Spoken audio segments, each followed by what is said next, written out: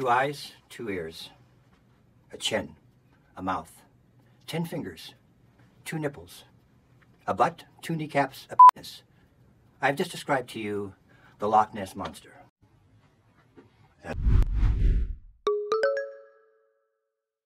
Ooh, hello, my friends. Hope you are well. Ever since hearing Creed give this thought provoking speech, my wife has been asking me to make a Loch Ness Monster diorama.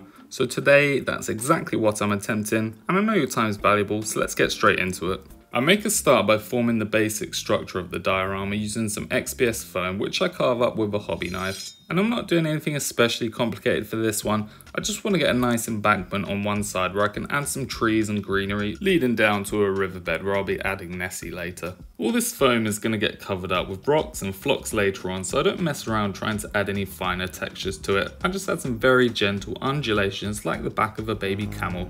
Once I'm reasonably happy with the shape we've got, I score the upper embankment to help with adhesion and then cover the entire thing in wall filler, aka spackle, aka magic hobby paste. I know a lot of people use dedicated modelling compounds, but honestly this stuff is ridiculously cheap and it's easy to work with. Plus it gives a rock hard finish when it dries, so it's my go-to for diorama making. I give that time to dry thoroughly before sealing everything in with a mixture of PVA and paint, and then make a start on adding all of our greenery bits. So first up I'm taking out my homemade mud mixture and I'm slapping this down over everything. The vast majority of this ended up being covered by the end of the diorama, but I like to add this down underneath rocks and flocks so if any exposed ground pokes through it looks like actual mud instead of just brown paint. And the mixture gives extra durability to the diorama when it dries, so that's a plus too. And to be fair, I was also just having a ton of fun applying this. I had a few different coloured batches I'd made previously and it was really satisfying blending those together with my brush, so it was definitely worth it for me. Anyway, I let this dry completely and then I cover everything in PVA so we can start adding our rocks and flocks. For our ground textures, I start with the riverbed where I first scatter on some larger rocks before blending them together with some smaller ones and a more gravelly sandy mixture. I scatter a darker basin mixture towards the top of the riverbank here and then add a whole lot of grassy green flocking to try and create a bit of a transition for the more rocky, muddy riverbed up to the embankment and grassy knoll. Once our first layers have dried, I take out my little squirt and give everything a good soaking with my special white goo, which is watered down PVA. This will seal everything in when it dries and before it does I sprinkle on some different coloured grass flocks up top just to add a bit of variation here and some more basin mixture for blending the riverbed and the embankment bits together. And I think it looks really nice when it's dried actually. I was really pleased with this so far. Next up in our naturization process, I take a few trees I'd whipped up off camera using the wire hot glue gun method. Let me know if you'd like to see how that's done. And I stick them down using some more hot glue up on the grassy knoll here. Easy peasy, and there we have it, some lovely, happy little trees. And after they're rooted in, I get to work in making the grassy floor a bit more interesting with a variety of different tufts and little bits and bobs. I focus around the bases of the trees to start with, using some longer grass tufts and small shrubby bits to disguise any visible hot glue that's left, and then begin building up some patches of vegetation across the rest of the surface. As always, I didn't have a specific plan for this, but found that bunching together a variety of different tufts gave me a fairly realistic look. So I'd start by adding a couple of different grasses down, then I might add some shrubs around the edges to add a bit of texture variation, and then I might finish it off with some different coloured flowers here and there for some little bursts of colour. I then took some miniature bracken and other leafy plants I had and added them scattered around, which made everything just feel that tiny bit more alive, like me in the morning after my first 4 litres of coffee. These plants tend to have a bit of a glossy finish, so I gave them a quick touching up with some matte varnish, which helped them blend in with the rest of the diorama a lot better. And with that, the grassy knoll was done and was absolutely sparking joy for me, so it's time to finish off the riverbed. First up, I glued down some more random shrubbery, which looked like it could be some kind of aquatic plant life, and then used some of this green fibrous stuff I had too. Not really sure what this stuff is, but it looks pretty cool. Lastly, I had some of this lichen stuff, which looks like seaweed or riverweed I suppose, and added a bunch of this down too. Nothing too crazy, but I think it does look like a riverbed. So I am liking the look of that, because I just said lichen a bit, oh whatever. Now, my friends, the naturization is over, the time has come to add our Loch Ness Monster, and I've been scouring online to find the right miniature for this, but in the words of our Scottish compatriots, I couldn't find one, so I decided to try and make one instead. I start by cutting down some lengths of wire, twisting them together and bending them into a rough serpentine shape. Some people think of the Loch Ness Monster as a plesiosaur type dinosaur thing, but in my head it's a humpy serpentine creature, so those people can kick rocks. I then scavenged through my bits for anything I thought would be usable, with this Felbeast head and neck being a great find, and got to work cutting stuff up and gluing it to the wire frame. I was using super glue to start with for some reason, which was way too fiddly and rage inducing, so I switched to hot glue instead and stuck down some makeshift spines and fins. I'm going to use clay for the body, but I didn't want it to take too long to dry, so I first thickened out the wire with a coating of hot glue. This meant I only needed to add a thin coating of clay on top of this and do my best to smooth it out. I had played around trying to add a scaly texture off camera, but it wasn't really working. My clay skills just aren't good enough at the moment to get the fine scaly texture I wanted, so I just tried to get it looking as smooth as I could instead. Once the clay had set, I gave it a quick sanding down with a very fine grit sandpaper to get rid of the worst lumps and bumps, and then sealed everything in with a mixture of PVA and black primer ready to be painted. I had been looking through some pictures for painting inspiration, and I quite like the look of the oarfish, which many people have mistaken for sea monsters throughout the ages, so I thought I'd try something along those lines. I started by base coating with a darker metallic colour and then stippling on some lighter metallic colours for some barely visible coloured variation. After that I stippled on a very faint bit of black just to give it a bit of texture and imply that it's covered in scales, and then went around with a few different shades of blue to paint on some more scaly coloured splotches. I was trying to mimic the splotches all oarfish have, but it ended up looking more like blue leopard print, which I didn't mind actually, I thought it looked quite good, so we went with it.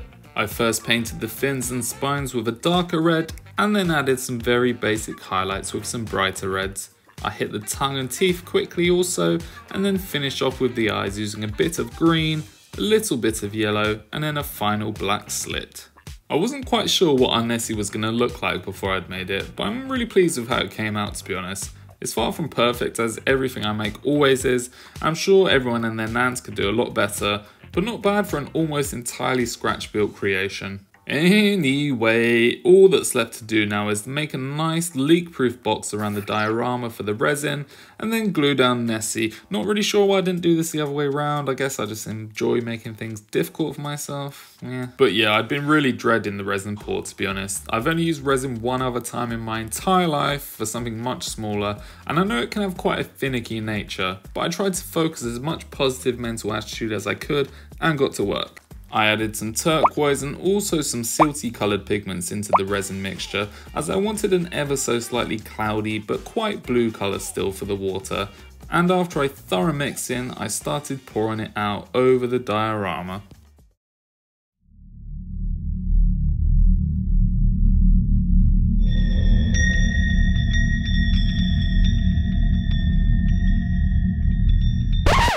Yeah, we ended up with quite a few bubbles actually once it had dried. I had been monitoring and popping all the ones I could with the butane torch, but still ended up with a lot of them, which is what I'd been most worried about for the resin.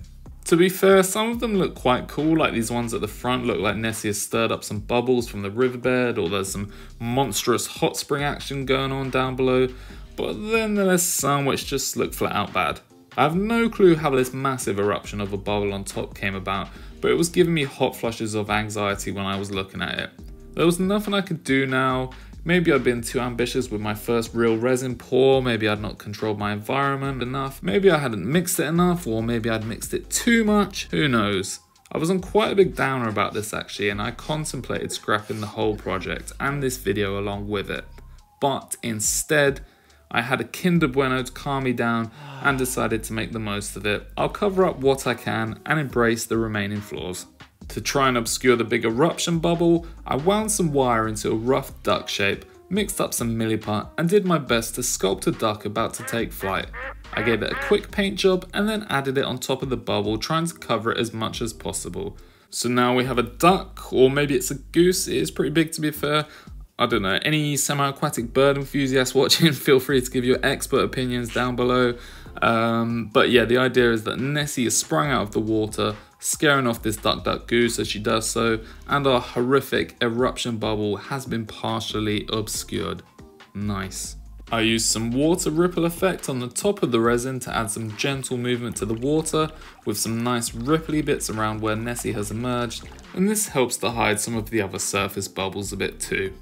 And finally I added some plasticard I had painted black around the side edges to neaten it all up a bit I had made these ever so slightly taller than the edges of the foam to hide some of the worst bubbles around the bottom of the resin, which meant the resin section did lose a tiny bit of surface area, but nothing too dramatic, and I think it helped to make it look just that little bit better.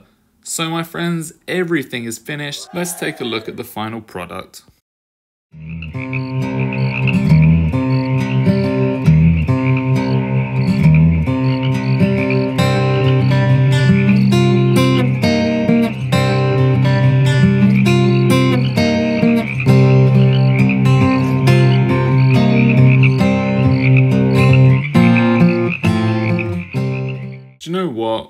The resin pour didn't go as well as I'd hoped, I'm still really pleased with this overall, and if nothing else, it's been a good learning experience for me. Although I'm not entirely sure what specific factor or factors cause so many bubbles, it's given me a lot of considerations to be mindful of the next time I do a resin pour, and there will definitely be a next time. Even though the resin was far from perfect, I still really like the overall effect it has on the diorama, and I love the colour it has, a nice faint blue with just a little bit of cloudiness in there. So pretty much exactly what I was hoping for in that respect at least. I'll be doing a lot of my own research for the next time I use resin, but if you have any ideas, feel free to leave them down below too. Anyway, on a more positive note, Nessie was a lot of fun to make and I'm really pleased with how that came out. It wasn't a massive deal of work really and I enjoyed working with the clay. It's always good to try and improve your skills so definitely a good experience in making that. And finally, the grassy knoll area with all the trees and tufts and flowers, although not especially complicated, looks really nice. I'm a big fan of naturey scenery and dioramas, and I'm very satisfied with how this area came out. The flowers and the bracken stick out to me the most, and it's just a lovely little area overall. So yeah, all in all, a bit of a mixed result with this one, but I'm very happy with it still, despite it not being perfect. Like I said, I thought about not sharing this video, but not everything you make will be flawless, especially when you're experimenting with new techniques or materials. But that's all part of the fun, and learning from these experiences and trying to make the best of them is what helps you to become better at them for next time. So I'm looking forward to my next resin work, whenever that will be, and I'm hoping it will be a little bit better than this one. I've been your boy, Big Swamp Brezza, Swamp Ratio, Swamp Ratio, and I'll be back very soon. See ya!